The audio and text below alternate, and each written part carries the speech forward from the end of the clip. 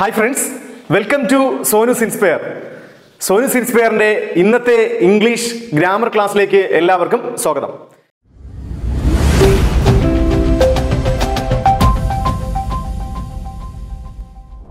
ഇന്നത്തെ ക്ലാസ്സിൽ നമ്മൾ ഡിസ്കസ് ചെയ്യുന്നത് പ്രീവിയസ് ക്വസ്റ്റ്യൻ ആണ്. ഫീൽഡ് അസിസ്റ്റന്റ് ഹെൽത്ത് ഡിപ്പാർട്ട്മെന്റിലെ ഫീൽഡ് അസിസ്റ്റന്റ് എന്ന് പറയുന്ന തസ്തികയ്ക്ക് ചോദിച്ച ക്വസ്റ്റ്യൻ ഇരുപത് മാർക്കിന്റെ ക്വസ്റ്റ്യൻ ആണ്. രണ്ട് പാർട്ടായിട്ടാണ് നമ്മൾ ഡിസ്കസ് ചെയ്യുന്നത്. അതിൽ ആദ്യത്തെ പത്ത് ക്വസ്റ്റ്യൻ ഇന്നത്തെ ക്ലാസ്സിൽ വളരെ ഡീറ്റെയിൽ ആയി നോക്കുന്നു. അപ്പൊ ഈ ചാനൽ ആദ്യമായി കാണുന്നവർ ചാനൽ സബ്സ്ക്രൈബ് ചെയ്യുക പുതിയ നോട്ടിഫിക്കേഷന് വേണ്ടി ബെൽ ഐക്കൺ ഇനേബിൾ ചെയ്യുക. ഇംഗ്ലീഷ് മാത്സ് വിഷയങ്ങളിൽ ഏതാണ്ട് നൂറിൽ പരം വീഡിയോസ് നമ്മൾ ചെയ്തിട്ടുണ്ട്. പ്ലേലിസ്റ്റിൽ ടോപ്പിക് വൈസായി കൊടുത്തിട്ടുണ്ട്. കൃത്യമായി പ്രയോജനപ്പെടുത്തുക. ഇനി നമുക്ക് ടോപ്പിക്കിലേക്ക് കടക്കാം.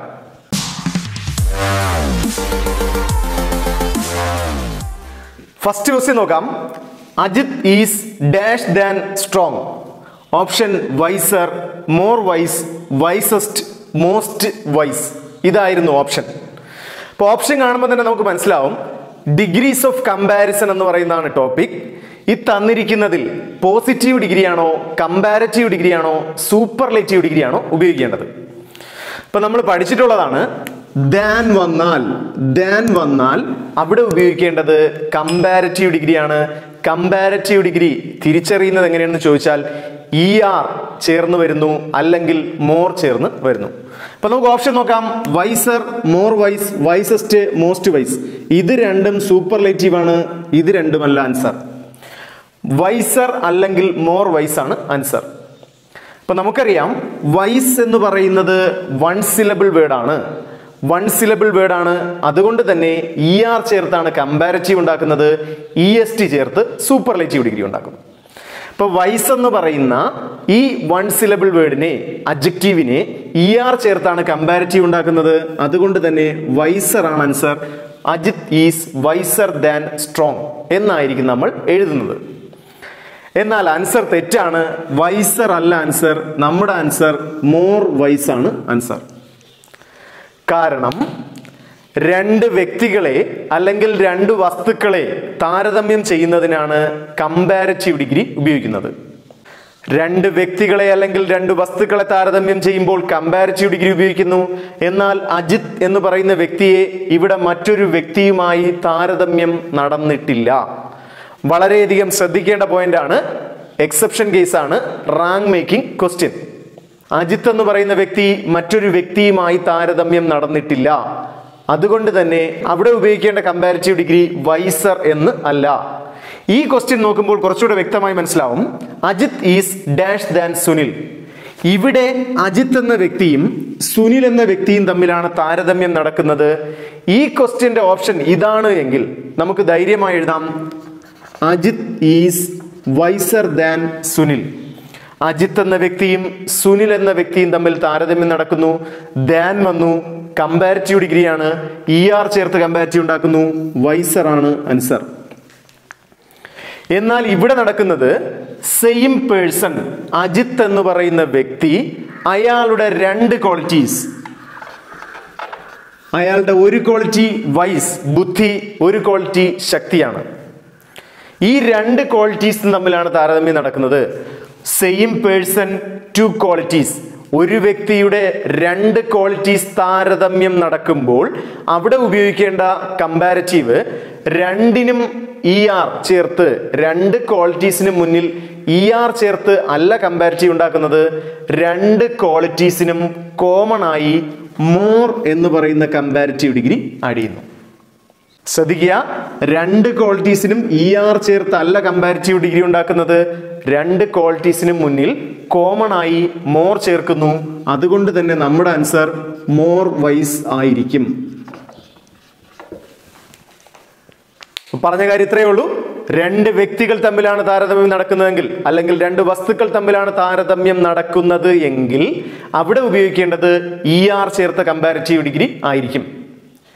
എന്നാൽ ഒരു വ്യക്തിയുടെ രണ്ട് ക്വാളിറ്റീസ് ഒരു വ്യക്തിയുടെ രണ്ട് ക്വാളിറ്റീസ് താരതമ്യം ചെയ്യപ്പെടുമ്പോൾ രണ്ട് ക്വാളിറ്റീസിന് മുന്നിൽ ഇ ആർ ചേർക്കേണ്ട കാര്യമില്ല രണ്ടിനും കോമൺ ആയി മോർ ചേർത്താൽ മതി.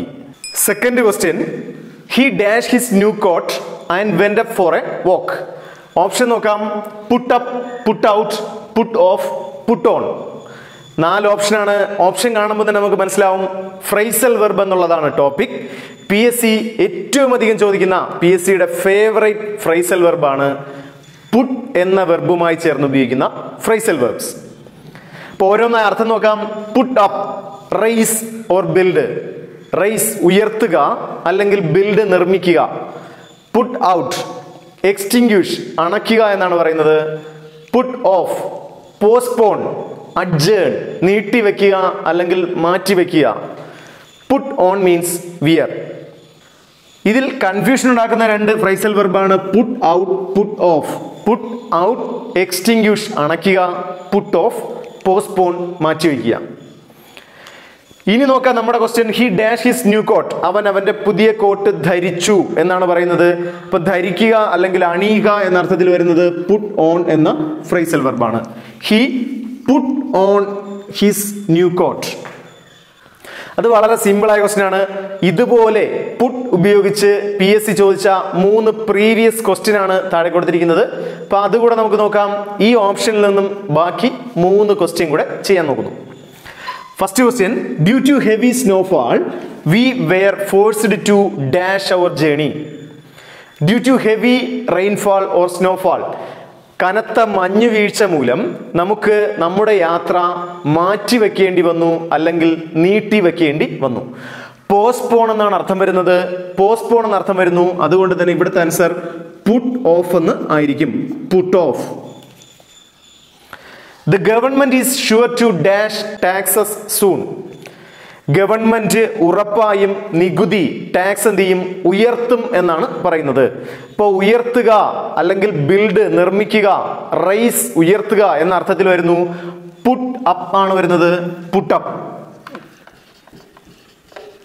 government is sure to put up taxes soon then I dash the light light അണച്ചു എന്നാണ് അർത്ഥം വരുന്നത്. ഇവിടെ വരുന്നു put out I put out the light ഏറ്റവും അധികം പി എസ് സി ചോദിക്കുന്ന ഒരു ടോപ്പിക്കാണ് ഫ്രൈസൽ വെർബ് അതിൽ ഏറ്റവും അധികം ആവർത്തിക്കപ്പെടുന്നത് പുട്ട് എന്ന ഫ്രൈസൽ വെർബാണ് ശ്രദ്ധിച്ച് പഠിക്കുക. Third question every one passed the test ക്വസ്റ്റ്യന്റെ ആകാൻ ടോപ്പിക് ഓപ്ഷൻ നോക്കാം. Do they did they didn't they don't they ഇപ്പൊ ശ്രദ്ധിക്കേണ്ടത് ക്വസ്റ്റ്യൻ ആകുന്നതാണ് ടോപ്പിക് എങ്കിൽ ആദ്യം നമ്മൾ കണ്ടുപിടിക്കേണ്ടത് ഓക്സിലറി വെർബാണ് ഓക്സിലറി വെർബ് നോക്കാം. ഓക്സിലറി വെർബ് തന്നിട്ടില്ല. അങ്ങനെയാണെങ്കിൽ വെർബിനെ സ്പ്ലിറ്റ് ചെയ്യണം. വെർബിനെ സ്പ്ലിറ്റ് ചെയ്യാൻ എളുപ്പമാണ്. വെർബിന്റെ ഫസ്റ്റ് ഫോം ആണെങ്കിൽ ഡു എസ് ചേർന്ന് വന്നാൽ ഡസ് പാസ്ഡ് എന്നുള്ളത് പാസിന്റെ സെക്കൻഡ് ഫോം ആണ്. സെക്കൻഡ് ഫോം ആണ് എങ്കിൽ ഡിഡ് ആയിരിക്കും ഓക്സിലറി വെർബ് ഒന്നുകൂടെ ശ്രദ്ധിക്കുക. ഫസ്റ്റ് ഫോം ആണെങ്കിൽ ഡു എസ് ചേർന്ന് വന്നാൽ ഡെസ് സെക്കൻഡ് ഫോം ആണെങ്കിൽ ഡിഡ് ഇതാണ് ഓക്സിലറി വെർബ് ഇപ്പം നമുക്ക് ആദ്യം ഓക്സിലറി വെർബ് കിട്ടി. അത് കഴിഞ്ഞ് നോക്കുന്നു സെന്റൻസ് പോസിറ്റീവ് ആണോ നെഗറ്റീവ് ആണോ? സെന്റൻസിൽ നോട്ട് എന്ന മീനിങ് വരുന്ന ഒരു വാക്കുമില്ല. അതുകൊണ്ട് തന്നെ സെന്റൻസ് പോസിറ്റീവ് സെന്റൻസ് പോസിറ്റീവ് ആണെങ്കിൽ നോട്ട് ചേർക്കുക. ഡിഡിന്റെ കൂടെ പോസിറ്റീവ് ചേർക്കുന്നു. ഡിഡിന്റ് അതിനുശേഷം എഴുതേണ്ടത് പ്രോനൗൺ ആണ്. എവരി വൺ എവരി വൺ എന്ന് പറയുന്ന പ്രോനൗണിന്റെ പ്രോനൗൺ എഴുതുക അതാണ് ദേ എന്നാണ് പറയുന്നത്.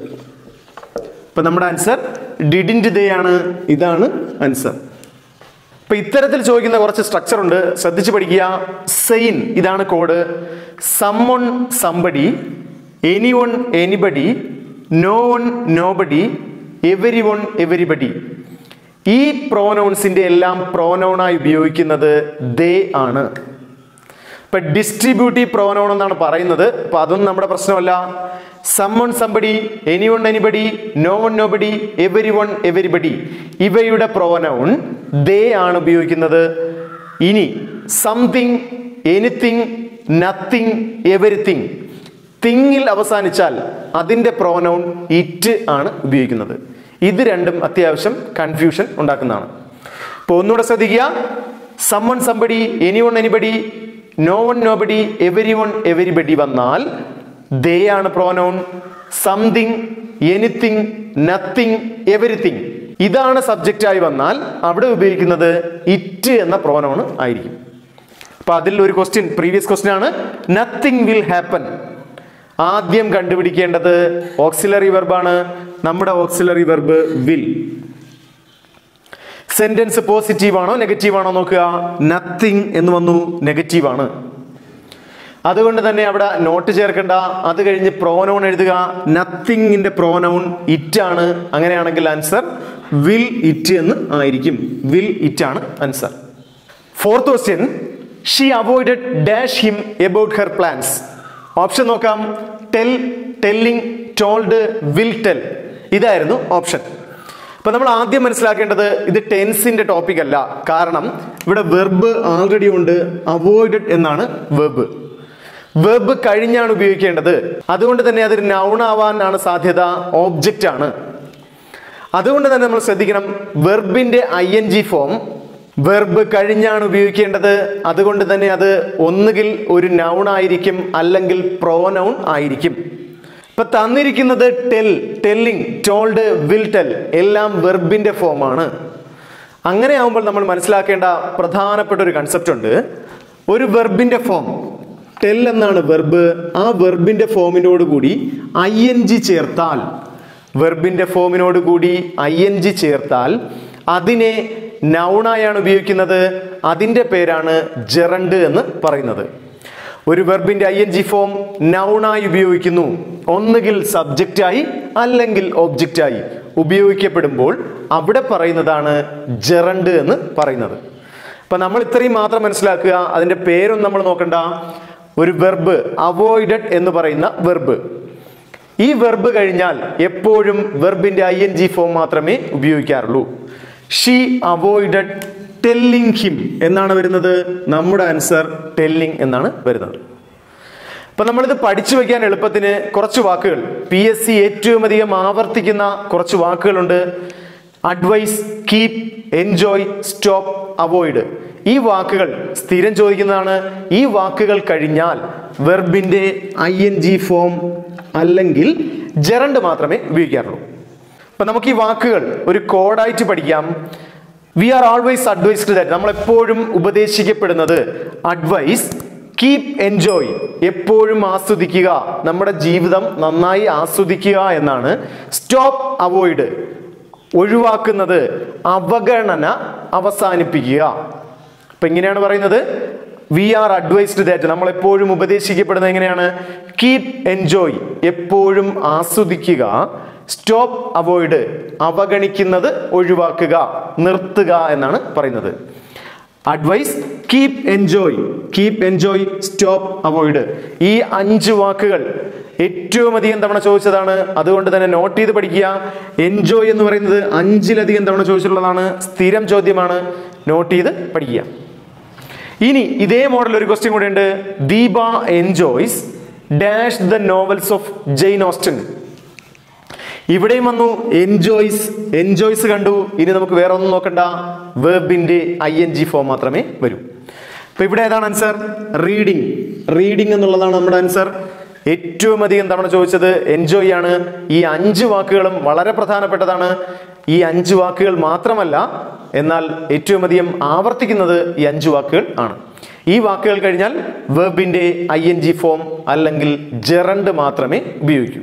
Fifth question my father was angry dash my behaviour option at with against for option കാണുമ്പോൾ തന്നെ അറിയാം പ്രിപ്പോസിഷൻ ആണ് ടോപ്പിക് അപ്പൊ നമുക്ക് നോക്കാം.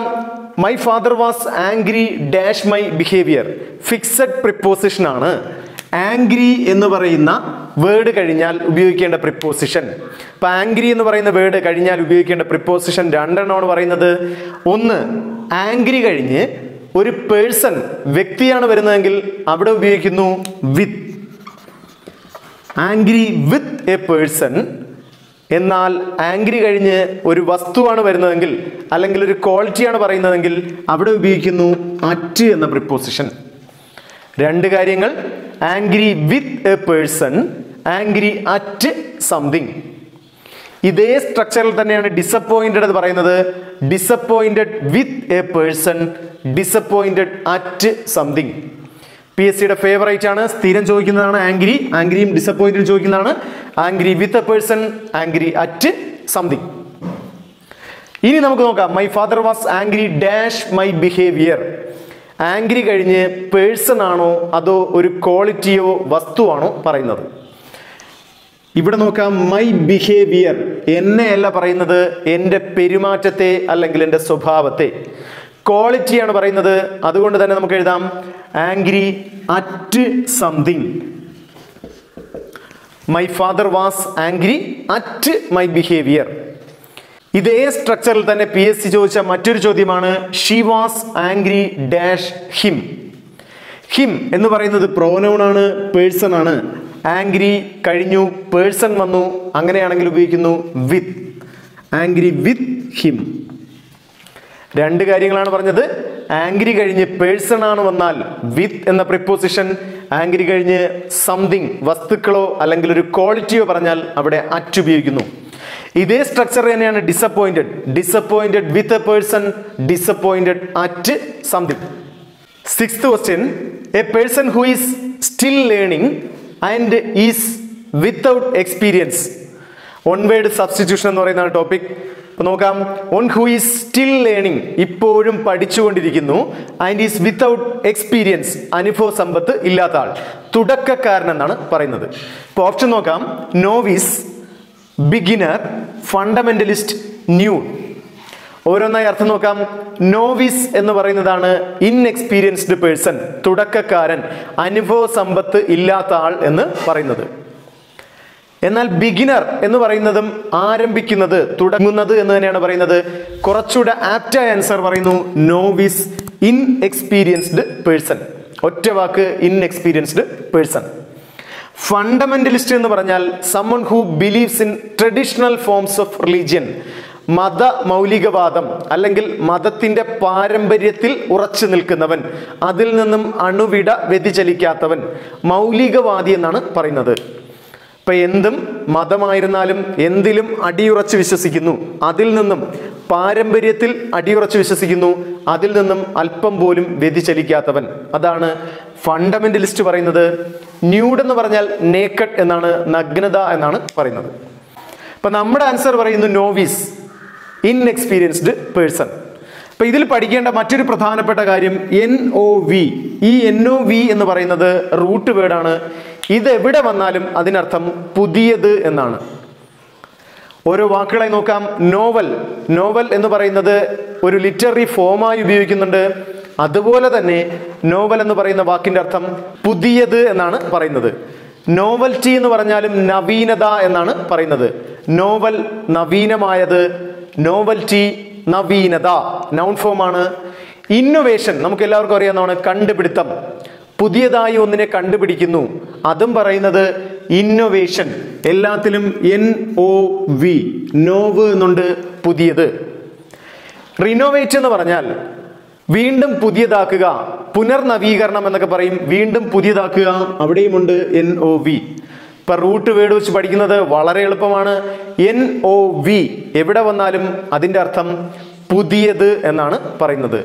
ഓടിച്ചു നോക്കാം. എൻ ഒ വി നോവിസ് എന്ന് പറഞ്ഞാൽ ഇൻഎക്സ്പീരിയൻസ്ഡ് പേഴ്സൺ അതിന്റെ ഒപ്പോസിറ്റ് പറയുന്നു. അന്റോണിം പറയുന്നു. Veteran experienced person veteran or expert ഇതെല്ലാം പറയുന്നത് നോവിസിന്റെ അന്റോണിം ആണ്.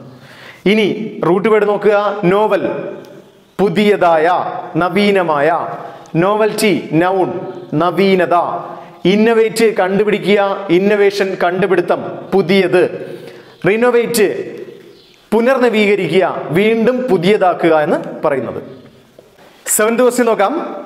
The car was parked under the shade of the tree correct the sentence ചോദ്യം ഇതാണ്. The car was parked under the shade of the tree ഈ സെന്റൻസിൽ ഉണ്ടായിട്ടുള്ള മിസ്റ്റേക്ക് കറക്റ്റ് ചെയ്യാനാണ് പറഞ്ഞിരിക്കുന്നത്.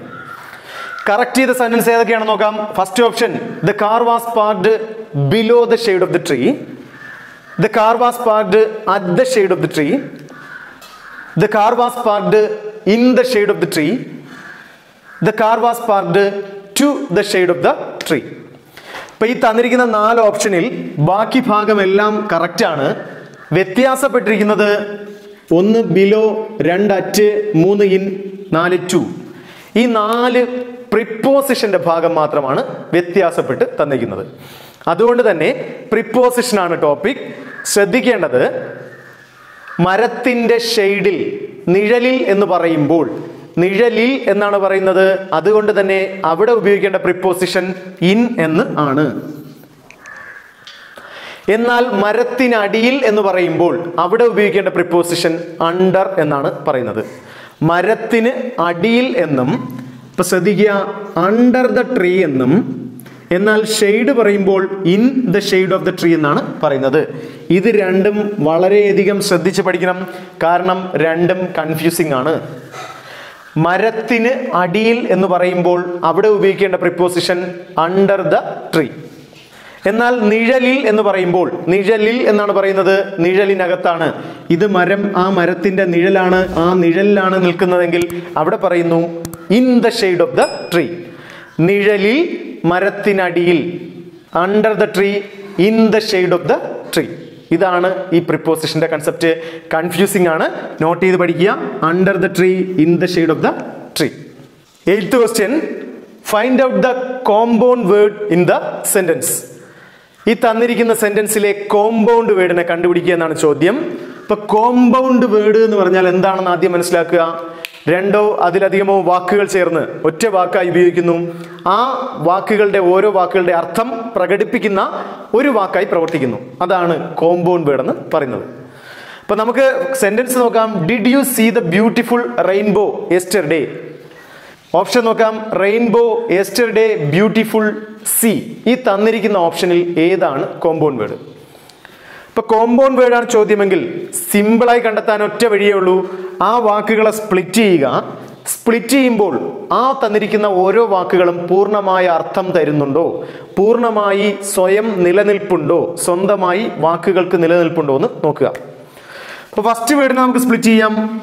റെയിൻ ബോ രണ്ടും സെപ്പറേറ്റ് ആയി നിൽക്കുന്നു. റെയിൻ ബോ യെസ്റ്റർഡേ സ്പ്ലിറ്റ് ചെയ്ത് കഴിഞ്ഞാൽ എസ്റ്റർ എന്നും ഡേ എന്നും ഒരിക്കലും കിട്ടില്ല. എസ്റ്റർ ഡേ ഒറ്റ വാക്കാണ്. എസ്റ്റർ എന്നൊരു വാക്ക് ഇല്ല. അതുകൊണ്ട് തന്നെ ഇത് ഒറ്റ വാക്കാണ്. ഇനി ബ്യൂട്ടിഫുൾ. ബ്യൂട്ടി എന്നും ഫുൾ എന്നും പറയുന്നു. പക്ഷേ ബ്യൂട്ടി എന്ന് പറയുന്ന വേർഡിനോട് കൂടി സഫിക്സ് ആയിട്ടാണ് എഫ് യു എൽ ചേർക്കുന്നത് അതിനെ അഡ്ജക്റ്റീവ് ആക്കാൻ. അപ്പൊ വലിയ വാക്കുകൾ പഠിക്കുന്നില്ല. ശ്രദ്ധിച്ചാൽ മതി. ബ്യൂട്ടി എന്നുള്ളതാണ് വേർഡ്. എഫ് യു എൽ എന്നുള്ളത് സഫിക്സ് ആണ്. അതൊരു വേർഡ് അല്ല. സ്വയം നിലനിൽപ്പ് ഇല്ല. സ്വയമായി മീനിങ് ഇല്ല.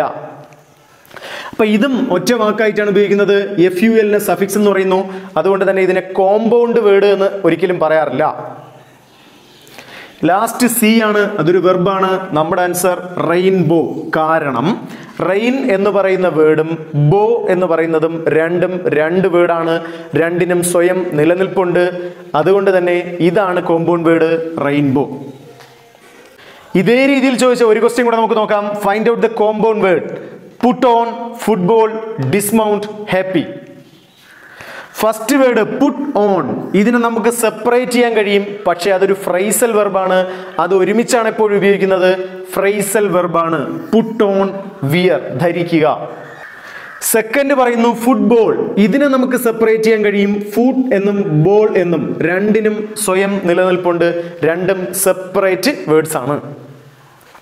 അടുത്ത് നോക്കുന്നു ഡിസ്മൗണ്ട് ഇവിടെ ശ്രദ്ധിക്കുക മൗണ്ട് എന്നുള്ളതാണ് നമ്മുടെ വേർഡ് മൗണ്ടിന് മുന്നിൽ ഡിസ് എന്ന് പറഞ്ഞ പ്രിഫിക്സ് ചേർത്ത് അതിന്റെ അൻഡോണിം സൃഷ്ടിക്കുന്നു.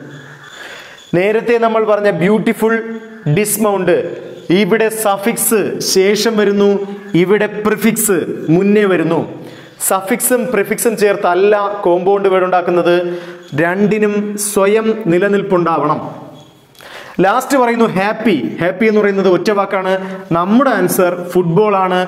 തന്നിരിക്കുന്ന ഓപ്ഷനിൽ ഫുട്ബോൾ ആണ്. കോമ്പൗണ്ട് വേർഡ് ആയിട്ട് പറയുന്നത്.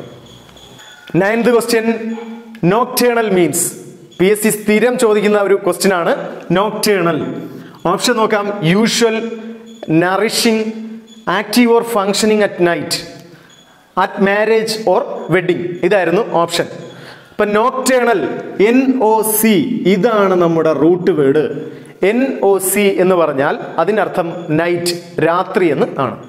ഇപ്പൊ നോക്ടേണൽ എൻ ഒ സി വന്നാൽ നമുക്ക് ഉറപ്പിക്കാം അത് രാത്രിയുമായി ബന്ധപ്പെട്ടതാണ്. ഇപ്പൊ തന്നിരിക്കുന്ന ഓപ്ഷനിൽ രാത്രിയുമായി ബന്ധപ്പെട്ടത് active or functioning at night രാത്രി മാത്രം സജീവമാവുന്നത് രാത്രിയുമായി ബന്ധപ്പെട്ടത് ഇതാണ് നോക്ടേണൽ എന്ന് പറയുന്ന വാക്കിന്റെ അർത്ഥം.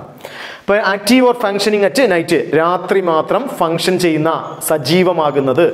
ഇപ്പൊ നമുക്ക് എക്സാമ്പിൾ ആയിട്ട് ഓൾ മൂങ്ങയെ പറയാം. രാത്രി മാത്രമാണ് അത് സജീവമാകുന്നത്. അപ്പൊ ഇത് തന്നെയാണ് പറയുന്നത് nocturnal active or functioning at night ഓരോ ഓപ്ഷൻ നോക്കാം. യൂഷ്വൽ സാധാരണമായത് നറിഷിംഗ് എന്ന് പറഞ്ഞാൽ പരിപാലിക്കുന്നതായ പുഷ്ടികരമായ എന്നൊക്കെയാണ് പറയുന്നത്. അറ്റ് മാരേജ് ഓർ വെഡിങ് വിവാഹത്തെ സംബന്ധിച്ചത്. ഇതൊന്നുമല്ല രാത്രിയുമായി ബന്ധപ്പെട്ടത്. ഇനി നമുക്ക് എൻ ഒ സി എന്ന് പറയുന്ന റൂട്ട് വേർഡ് വരുന്ന ഒന്ന് രണ്ട് വാക്കിലൂടെ നോക്കാം. നോക്ടിഫോബിയ എൻ ഒ സി നോക് എന്ന് പറഞ്ഞാൽ നൈറ്റ് രാത്രി.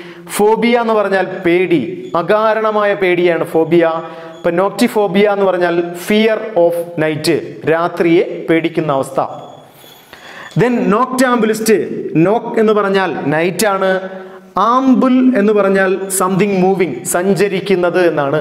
ഇപ്പൊ രാത്രി സഞ്ചരിക്കുന്നതിനെയാണ് നോക്ടാംബുലന്റ് എന്ന് പറഞ്ഞാൽ. ഇതിനെക്കുറിച്ച് കുറച്ചുകൂടെ നല്ല വാക്ക് പറയുന്നു സോംനാംബുലിസ്റ്റ് ഉറക്കത്തിൽ സഞ്ചരിക്കുന്നത്. അതും ഈ നോക്ടാംബുലിന്റെ ഏതാണ്ട് ഒരേ അർത്ഥമാണ് പറയുന്നത്. ദെൻ നോക്ടിലൂസന്റ് നോക്ടിലൂസന്റ് പറയുന്നത് രാത്രി മാത്രം പ്രകാശിക്കുന്നതാണ്. Shining or glowing at night രാത്രി മാത്രം പ്രകാശിക്കുന്നതിനെയാണ് നോക്ടിലൂസന്റ് എന്ന് പറയുന്നത്. ഇവിടെയും എൻ ഒ സി നോക്ക് എന്ന് പറഞ്ഞാൽ രാത്രി. അപ്പൊ നമ്മളിന്ന് പഠിച്ചു എൻ ഒ സി നോക്ക് എന്ന് പറഞ്ഞാൽ രാത്രിയാണ്. നോക്ടേണൽ എന്ന് പറഞ്ഞാൽ active or functioning at night last question dash mother would like to see you option നോക്കാം. A and the none of these option കാണുമ്പോൾ തന്നെ നമുക്കറിയാം ആർട്ടിക്കിൾ ആണ് ടോപ്പിക് അപ്പം ശ്രദ്ധിക്കേണ്ടത് മദർ എന്ന് പറയുന്ന ഈ നൗണിന് മുന്നിലാണ് നമ്മൾ ആർട്ടിക്കിൾ ചേർക്കേണ്ടത്. അത് ഏത് ആർട്ടിക്കിൾ എന്നാണ് ചോദ്യം.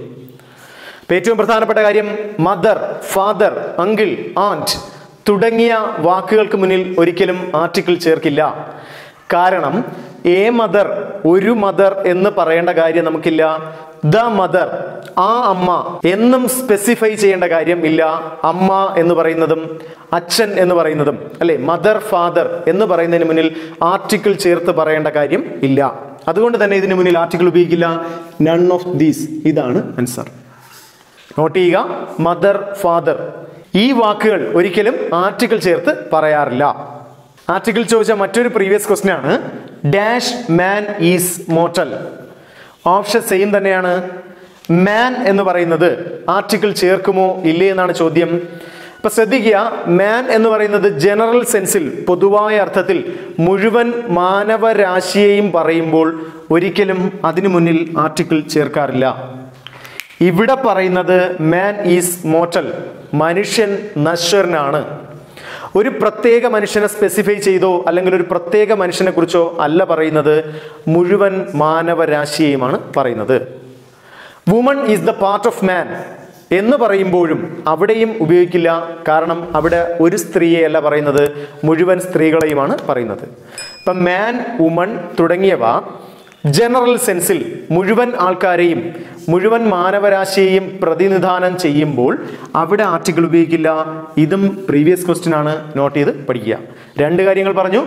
മദർ ഫാദർ തുടങ്ങിയവയ്ക്ക് മുന്നിൽ ആർട്ടിക്കിൾ ചേർക്കില്ല. അതുപോലെ തന്നെ മാൻ മാനവരാശിയെ പ്രതിപാദിക്കുമ്പോൾ മുഴുവൻ ജനങ്ങളെയും പ്രതിപാദിക്കുമ്പോൾ ആർട്ടിക്കിൾ ഉപയോഗിക്കാറില്ല.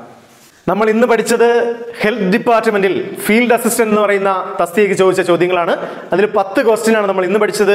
ഇനി പത്ത് ക്വസ്റ്റ്യൻസ് ഉണ്ട്. അത് നമ്മൾ അടുത്ത ക്ലാസ്സിൽ ഡിസ്കസ് ചെയ്യുന്നതാണ്.